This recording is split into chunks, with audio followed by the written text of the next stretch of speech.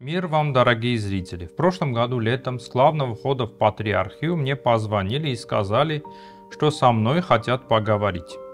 Так познакомился с очень интересным, креативным и творческим человеком Александром Лагвиненко и его супругой Дарьей Поженевской. Оказалось, что Александр является подписчиком моего YouTube канала, смотрит мои видео и интересуется армянским наследием на Святой Земле. Решили встретиться в одной из иерусалимских кафетерий, где он мне подарил свою книгу «Храм гроба Господня». Кстати, книга очень интересная и красиво оформленная. Там порядка 140 цветных фотографий самого автора. Но вот что меня более заинтересовало. В книге можно найти QR-коды, с помощью которых открываются видео, ролики по самой теме. Скажу, что это супер идея, я видел, вижу впервые. Буду иметь в виду для своих будущих книг, которые, если на то будет воля Господа, постараюсь издать в будущем. Ну а пока весь поглощен в создании контента для своего YouTube. Общаясь с Александром, узнал, что он является автором порядка 10 книг. Книга «Храм гроба Господня» переиздавалась 4 раза. Первая в 2015 году, потом в 2016, 2018 и последняя 2022, который подарил мне. Каждый раз, когда переиздавалась книга, то ее объем увеличивался на 30%. У него есть также YouTube канал «Храм гроба Господня. Много, но кратко от Александра».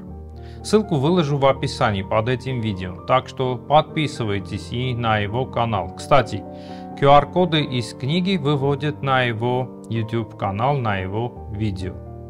Дорогие, книгу можно купить онлайн на сайте Сретенского монастыря или в церковных магазинах э, по России. Так мы и подружились, переписываемся и по сей день. И вот во второй половине декабря уже прошлого года он мне написал смс, что в январе он с маленькой группой будет в Иерусалиме и хотел бы взять у меня интервью. Ну, я не раздумывая согласился. Александр на Святую Землю прилетел со своей супругой Дарьей, с иподьяконом Александром Жбановым и со Станиславом Кнопом, который и снял наше интервью и сделал монтаж. За день до самих съемок мы, естественно, встретились, общались не только по вопросам интервью, которые Александр мне, которые Александр мне заранее отправил. Говорили на разные темы, от христологии до житейских вопросов. Разговор продолжили и после самого интервью на следующий день. Хочу отметить, что разговор был без всякого фанатизма. Даже не почувствовали, что мы являемся чадами разных церквей. Нас объединял наш Господь Бог, Иисус Христос, который для нас всех рождается тогда, когда того ждут Его чада – так что всех поздравляю с Рождеством нашего Господа.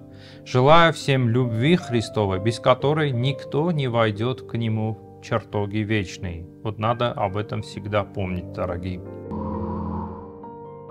Кстати, видео решили снимать в другом месте, поскольку в церкви святых архангелов у меня уже два раза брали интервью.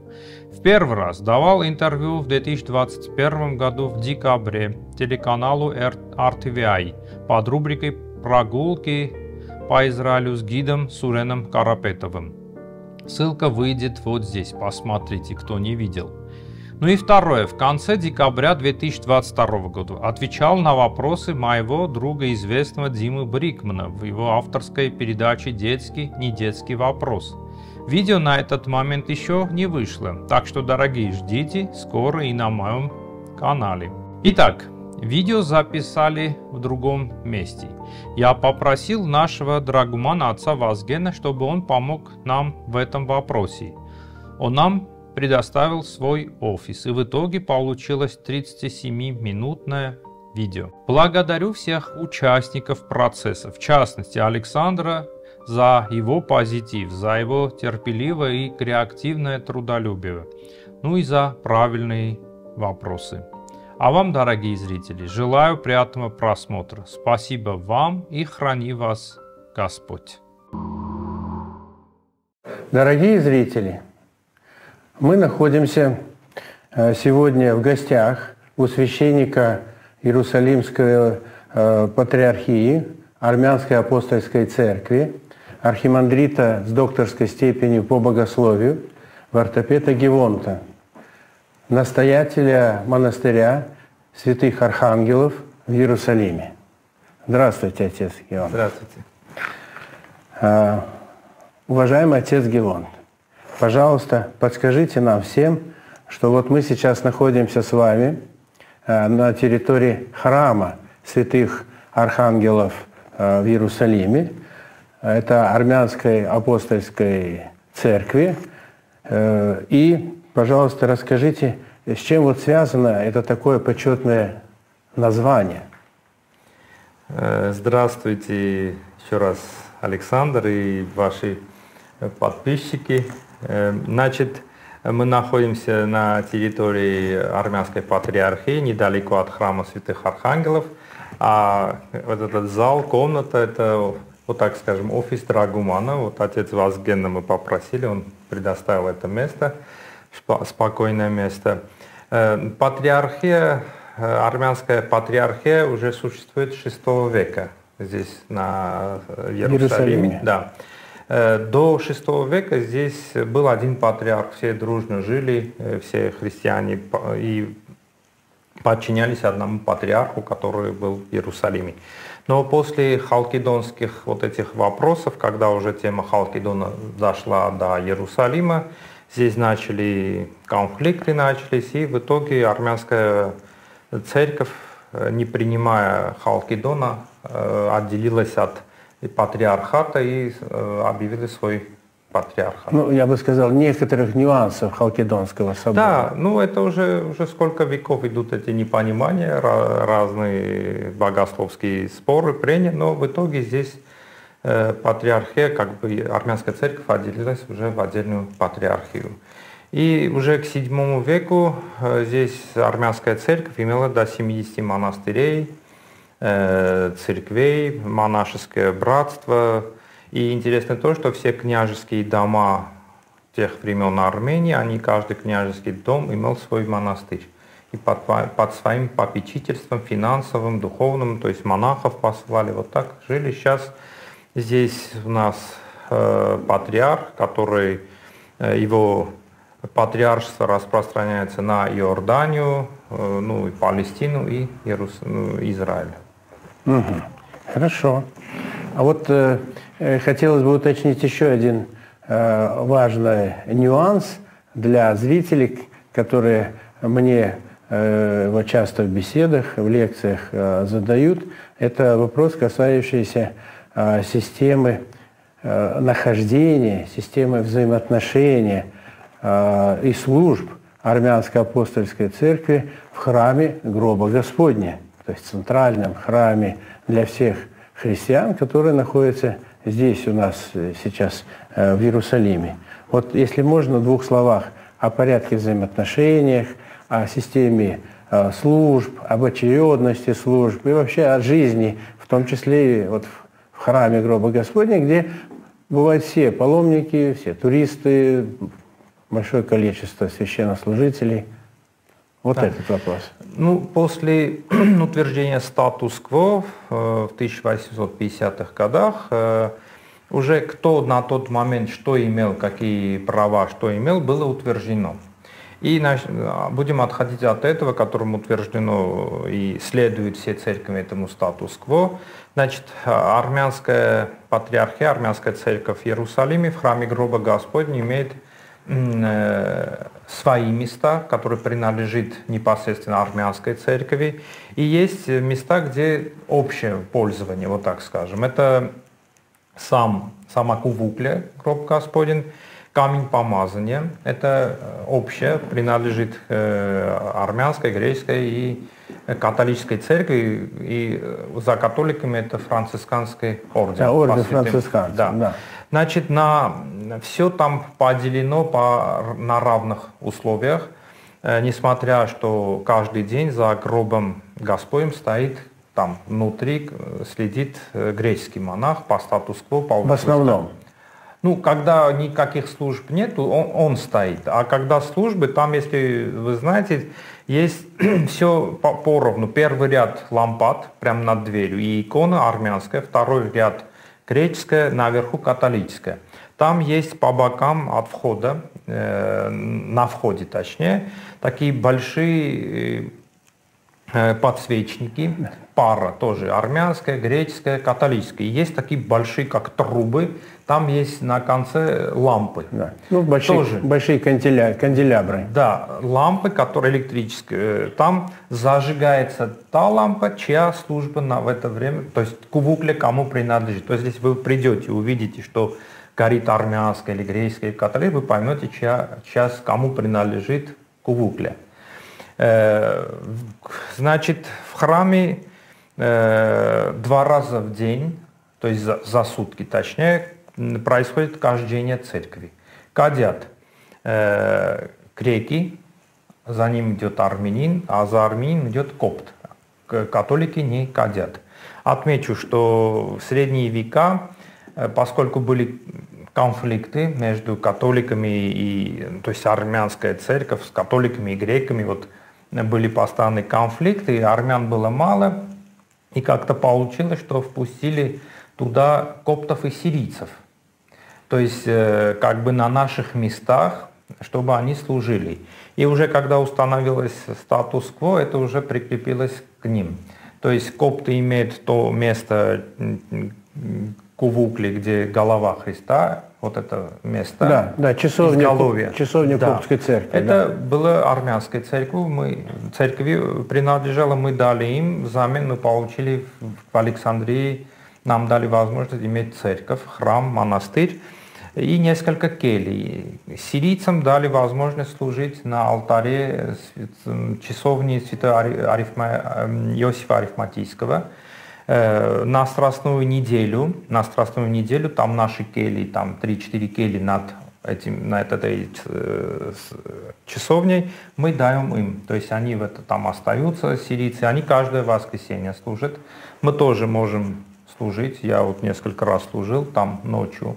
И вот два раза кадят это днем, происходит служба, молитва, часы, греки, э, армяне и католики у себя – Э, вечер, ночная служба тоже идет каждый день, той же очередной, очередности и по всему храму, по всем местам. Вот идут от, начинают от Кувукли в армянский предел, поднимаются на Голгофу, спускаются в церковь Святого Григория Просветителя, место обретения креста, весь храм, и каждый заканчивает в своем пределе. Э, и также ночная служба, часы, э, каждый служит в своих пределах – и начинается литургия. Сперва э, служат греки литургию, заканчивает, потом уже гроб кубуклю забираем мы, вот так.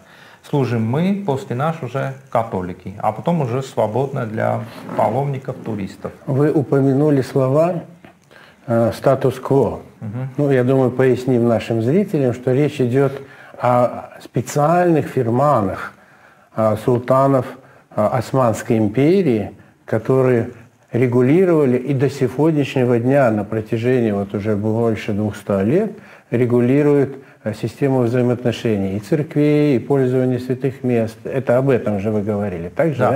да? Отмечу, что, естественно, все церкви во время служб стоят там даже все поровну раз, как сказал, все поровну. Внутри там лампады, подсвечники, иконы, все, все поровну, каждая имеет свое.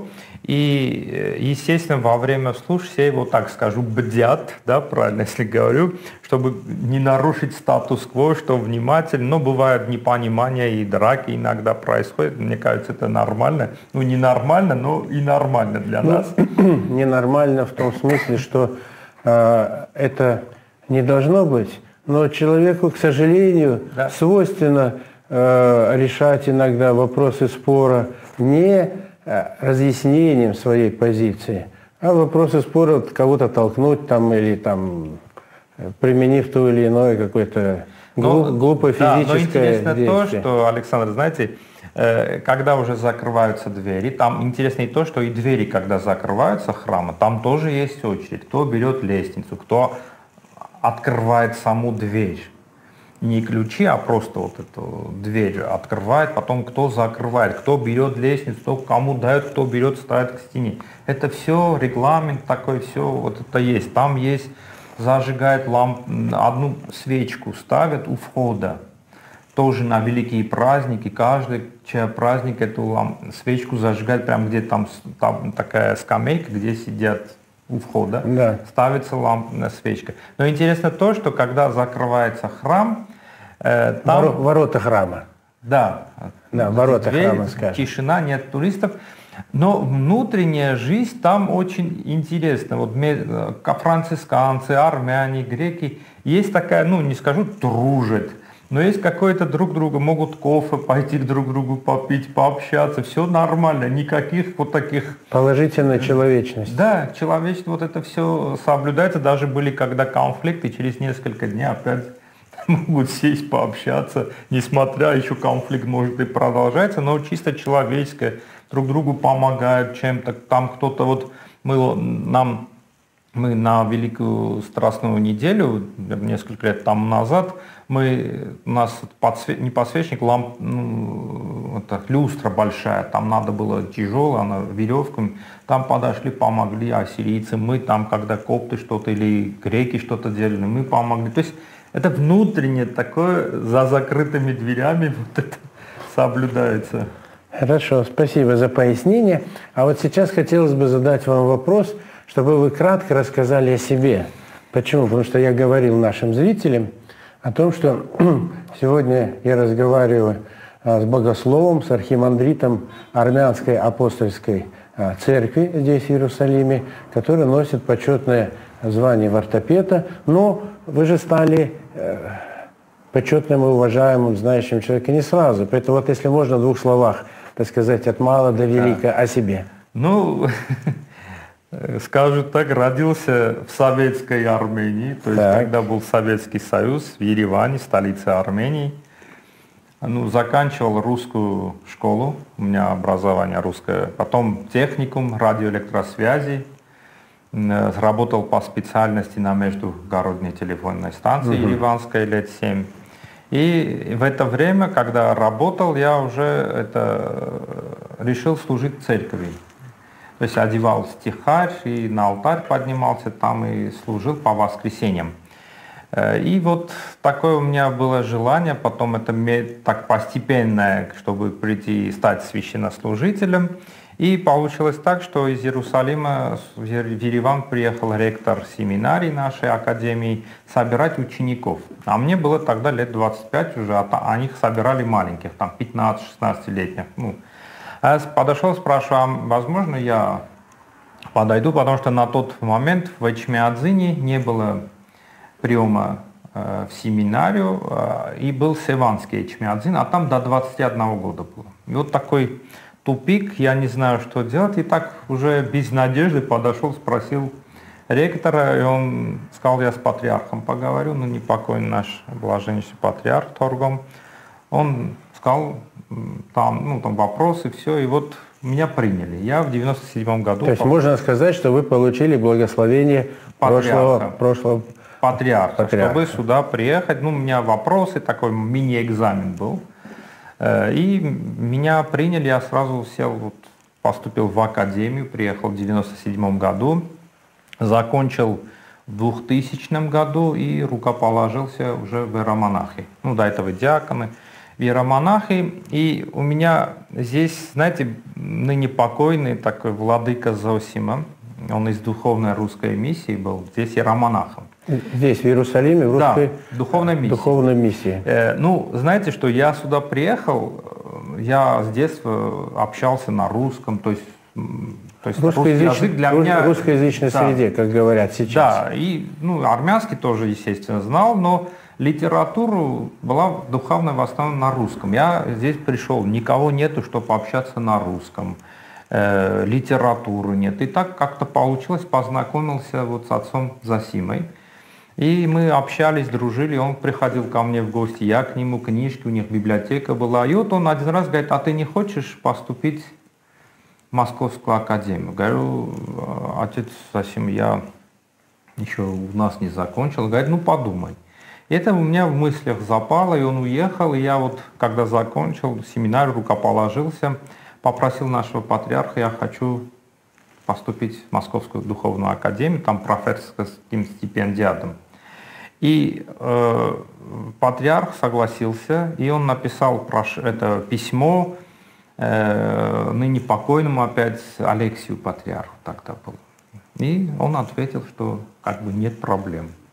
Я поехал так уже, и потом была, э, э, иеромонах Засимом стал епископом, рукоположился, он где-то вот на север его отправили, и он такая блаженнейшая кончина, он после литургии, когда закончил, сел и отдал душу Отошел. Господу. Отошел, Отошел к Господу. Господу. Он, я его всегда помню в молитвах, он, он очень добрый человек, такой вот впечатление такое очень на меня он оставил.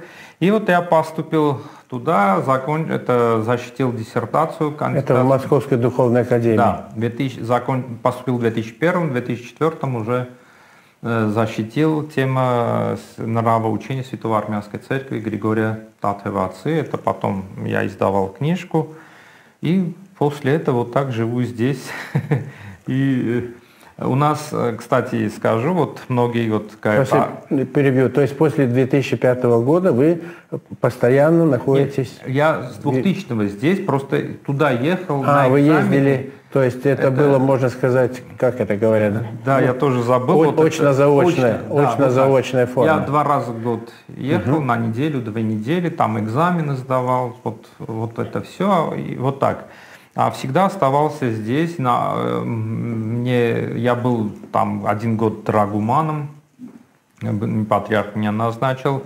В 206 году назначили настоятелем храма э, святых архангелов и по сей день я там настоятелем. И еще был годом смотрителем светской школы армянской здесь, школы святых Таркманчат на один год.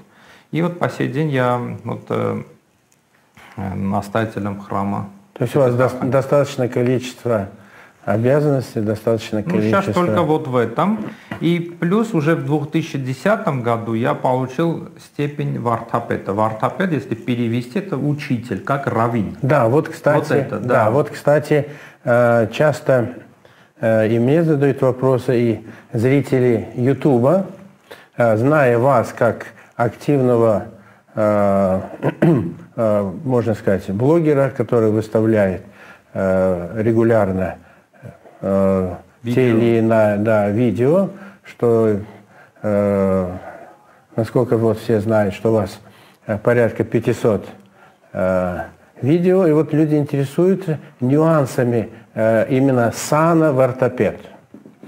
Но оно, знаете, оно и похоже э, по статусу такому, да, да, руководящему, как архимандрит, просто и вартапет. Но вартапет, более того, он имеет власть учитель, быть учителем, проповедовать. То есть дается посох, что он имеет власть учить, проповедовать, наставлять, в этом смысле. И поэтому архимандрит и вартапет, вартапет, говорю, это и одно и то же, но не одно и не то же. И вот я с 2010 года получил эту степень э, в ортопедскую посох, э, двухглавый, э, двухглавый змей.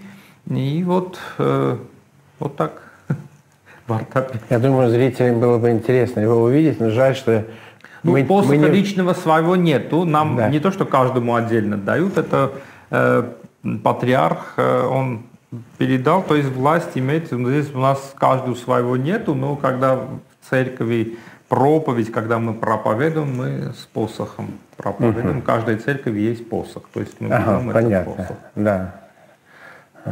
И подскажите, пожалуйста, вот раз я сейчас упомянул о Ютубе, да, а какая, какие темы лично для вас, когда вы думаете о сюжетах, готовите сюжеты, планируете сюжеты те или иные на будущий период, какие темы э, вы считаете для вас более приоритетны, более актуальны? То есть к чему больше, как говорится, э, лежит душа, когда вы думаете, а какой будет следующий сюжет, а какой будет сюжет там через месяц? Приоритеты ваших видео. Ой, приоритеты. Я начал, открыл YouTube YouTube канал в 2009 году. Угу. Более меня привлекло то, что когда были вопросы, вот эти конфликты на святых местах, да, гроб Господь, благодатный огонь, вот эти темы, я начал, вот когда осуждали нас, то есть неправильно там в СМИ, в интернете, я начал снимать, а куда выкладывать, сначала выкладывал у отца Вазгена уже давно было, угу.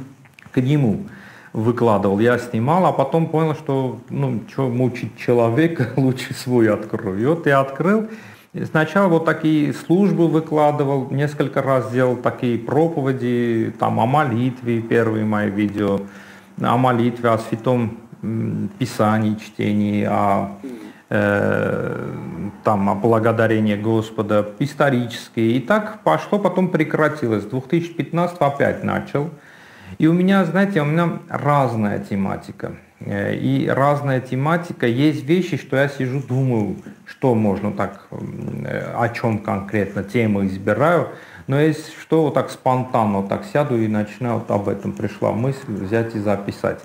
Но я, у меня в основном русскоязычная аудитория, я в основном работаю, вот так скажу, для русскоязычных армян, но потом понял, что смотрят мои видео не только армяне, но и, и русские, то есть русскоговорящая среда. Среда, вот так.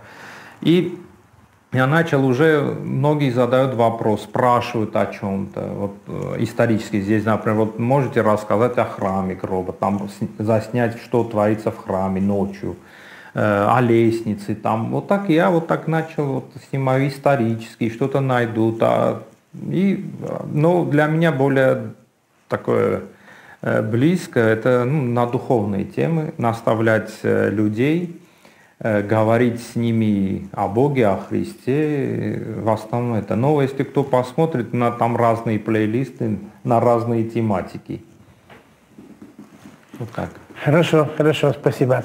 А, и еще тогда давайте мы затронем снова эту тему, связанную э, с Ютубом, связанную э, с рекомендациями, словами. А темы я бы хотел задать вопрос, касающийся молодого, юного поколения. Вот ваша точка зрения, чем можно э, заинтересовать юное поколение, чем его можно э, привлечь вот э, к таким каналам, как у нас с вами, вот, ну, образно говоря, не тем же, что там 40 раз повторять молитву там э, Потому что для молодежи э, важно какое-то движение, важна какая-то новизна, и в то же время параллели э, с древностью. Вот ваше мнение? Это, знаете, я часто думаю об этом, и я прихожу к тому выводу, что сегодня апостольские церкви, вот эти древние церкви, да. не протестантские, не там, да, вот пост, после даже 17 века, а вот традиционной церкви, у них есть проблема. Э, и армян, у греков, русских, у всех. В чем? Потому что э, церковь, верующий, который находится, он стоит в пассивном состоянии. И для него быть три часа, два часа на службе, быть пассивным, в смысле пассивным, он не соучастник. Да, он в мыслях молится, там что-то под носом поет что-то, да, но он так стоит, и, а молодежь, она привыкла, которая выросла на коле, на кока-коле, да, вот эти да. энергические, они, в них кипит. И поэтому они могут часами там на дискотеке где-то стоять, танцевать часами, но час на службу не выдержат. Многие говорят, это бесы в них, никакие не бесы, просто они не соучастники всего этого.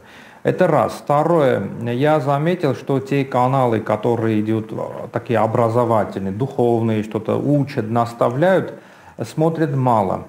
Э, а смотрят такие, извините, скажу, вирусные видео, там что-то случилось, где-то что, и ты, или какие-то блогеры, например, сидят, я вот помню, вот эта одна девушка, сказали ей, можешь лимон съесть целый на камеру, и она съела, и там 3-4 миллиона просмотров.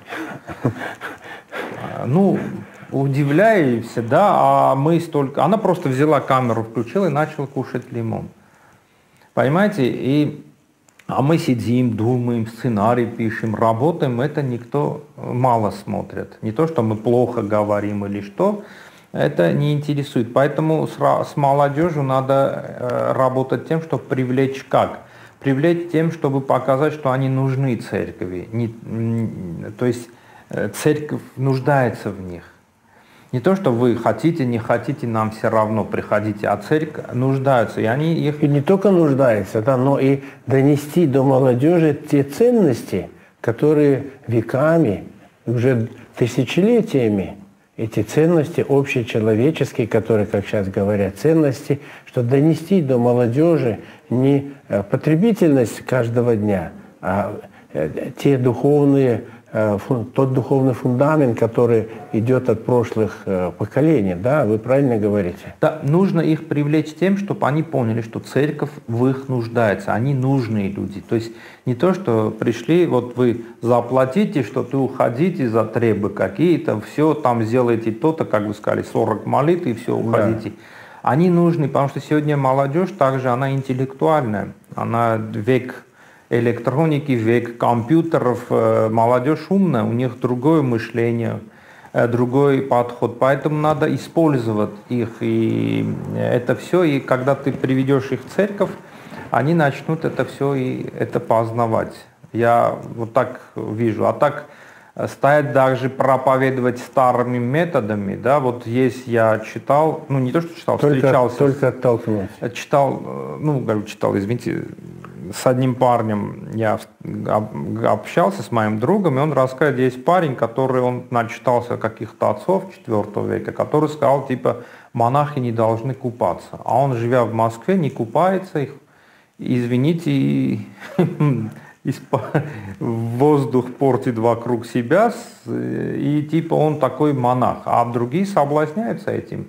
А другие думают, что если надо христианство, это э, не четвертый век, христианство, оно настолько для меня, духовность, оно настолько, что оно, это слово не люблю, но чтобы объяснить, приспосабливается к любой форме.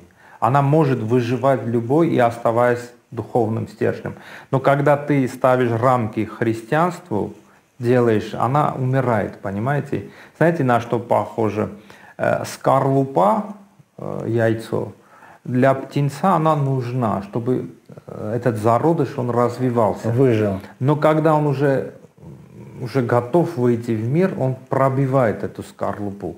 Понимаете, эти каноны, эти все правила, они нужны, чтобы сохранить вот это зародыш веры в человеке. Но когда он становится, уже крепнет, становится на ноги, эта скорлупа ему будет мешать, он убьет если он не прорвет. А когда прорвать, вот ты против отцов, ты вот так, а я всегда говорю, если бы отцы церкви, которые жили в IV веке и писали какие-то каноны, и они решали вопросы тех времен, и они, если жили бы сегодня, они не написали то, что тогда говорили. Да, это, вот, кстати, вопрос. Вот это я так думаю, потому что, потому что они решали вопросы тех времен. Понимаете, если человек может в то время, простой человек, купался год 3-4 раза, к примеру, то, естественно, монах должен не, вообще не купаться. Но сегодня, если человек, он такая э, культура, что он должен почти каждый день купаться. И поэтому жить четвертым веком это трудно. Да, вот ко э, Христу не приведет. Да, вот вы затронули эту тему, и я бы еще сказал, что да, мы живем э, в 21 веке, значит, и кроме того, Э, мы ежедневно видим, как современные технологии с громадной скоростью э, разбегаются вокруг. И как у нас каждый день, каждый месяц, да, появляется что-то новое, новые технологии. И вот тут такой вот вопрос. Ваше мнение, а если бы святые апостолы жили бы наше время, пользовались бы они чем-то, или они точно так же ходили бы Э, в сандалиях и только проповедовали, или пользовались бы тоже современными возможностями, техникой донести свое слово? Я э, иногда вот нашим ребятам, семинаристам, знакомым, я тоже вопрос задавал, не апостол, говорю, если святые отцы жили бы да. в IV веке, их собор, и была бы камера, они бы поставили, сняли бы это все, весь собор. И многих вот это зависает, не знают, что ответить. Мне кажется, они бы э, все этим пользовались, апостолы, чтобы Слово Божие быстро распространялось. Сегодня, если это есть, у меня нет этой возможности ходить куда-то, да, но я сижу дома записываю видео, выкладываю в интернет, и там смотрят несколько тысяч человек. То есть, если это есть возможность нести Слово Божие через это, почему бы не нет? И мне кажется, апостолы пользовались бы этим. Но в те времена была, ну, технологий, так скажу, не было, но они пользовались всеми теми свойствами, то есть э, они и на ишаках, и на телегах, и на корабле, если был самолет, и на самолетах бы это все пользовались. То есть это так было бы это, нужно. Это норма. Но нужно быть, знаете, что и не делать из э, всего этого некого культа, знаете, и не полагаться на все это.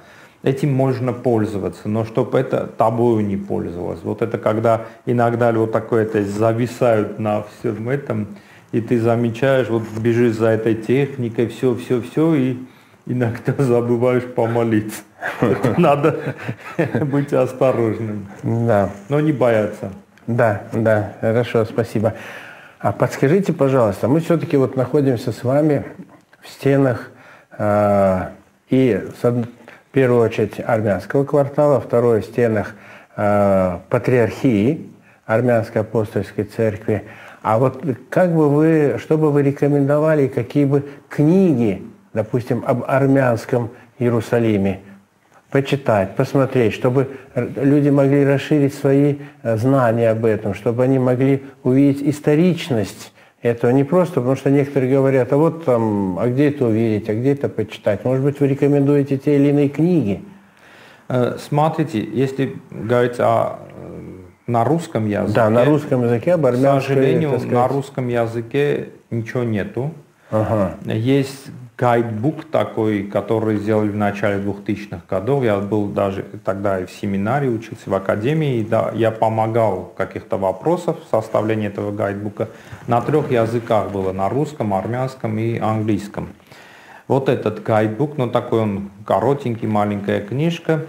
Э, в основном все на армянском, если есть, то там 1800-1900 годов книги, все описывается исторически. Но появилась, ну, это как бы и моя книжка, которая называется «Армянский Иерусалим и размышления на тему Халкидона». Э, есть, уже был, точнее, журнал «Аниф», русскоязычный армянский журнал, главный редактор Карен Агекян. А он, где, где он издается? Он в России издавался, ага. но сейчас его, по-моему, уже не издается. И он меня тоже в сети нашел и взял такое интервью про армянский Иерусалим. Э, и такое интервью, вопросы, точнее он вопросы задавал, я письменно отвечал, это было издано. Потом на тему халгидонских размышлений, то есть на эти вопросы. И я что подумал, что если это журналы не все будут читать, и потом он уже его не будет под рукой, решил эти две два интервью, вот так скажу, статьи собрать воедино. Издал я книжку, которая называется вот «Армянский Иерусалим». Там я рассказываю, как мы пришли, вот эти конфликты сегодня, что и в 2009 году издал. То есть я могу ссылку дать, PDF, потом могу, если Ну, да, это было, я думаю, да. что в те, кому это выложить, интересно, да, да, они это... Я вам пошлю. Она книжка, там на какие-то общие вопросы ответ... uh-huh. есть ответы, да. Хорошо. К сожалению, говорю, на русском нету. Там, да, еще была одна женщина из э, России, тоже про Иерусалим. Они паломничеством были из России, по-моему, из Новгорода, по-моему, армянская община. Они э, сделали такое статьи, такие рассказы, как паломница одна женщина. Вот есть такая книжка, но в сети нету ее. Отец Геон, мы буквально на днях, вот несколько дней назад, перешагнули в новый 2023 год от Рождества Христова. И вот у нас, так сказать, здесь напоминание перед нами стоит. И оставили позади сложный, ужасно сложный 2022 год. Вот мне бы хотелось попросить вас высказать э, пожелания нашим зрителям, э, благословения ну, на ближайшее время, может быть, на ближайшие 12 месяцев, на ближайшие э, годы, сказать, чтобы наши зрители э, услышали от вас и ваши слова для них? Знаете, мы всегда, э, люди, как свойственно людям, мы всегда стараемся э, то есть жить с надеждой, что будет хорошо, пожелания друг друга, да, вот что будет хорошо, все так и так. Э, но, как говорится в книге Екклесиаст, ничего нового под солнцем не бывает. То есть опять все повторяется по-разному. Я вот желаю всем вашим подписчикам, зрителям, как слова Господа говорят, не бойтесь, э, я победил мир. Как он победил мир? Ну, если вот так смотреть, его взяли, распяли. Оплевали, да, вот это распяли, глумились над ним. Победил мир тем, что он не озлобился. Мир, он такой сегодня, все, что вокруг нас творится, это испытание, что христианин не озлобился. Я желаю вам, дорогие Э, не озлобляйтесь. Даже если видите все, что это неправда, что-то, что старайтесь не озлобиться. Это испытание, которое надо победить только любовью. Это самое главное добродетель, потому что, знаете, когда Господь будет нас судить, Он не спросит, как ты молился, сколько раз молился, постился. Он просто скажет, я был голоден, а ты меня накормил или не накормил. И апостол тот же говорит, Павел говорит, что все пройдет, останется любовь. Поэтому желаю, чтобы вы росли в любви и не ослаблялись. Вот такие слова. И пусть Господь хранит вас с Рождеством нашего Господа. Знаете, у христиан, тем более в Иерусалиме, Рождество справляется э, три раза – 25 декабря католики, 7 января православный мир, сирийцы, копты, там все, и 19 января армянская церковь.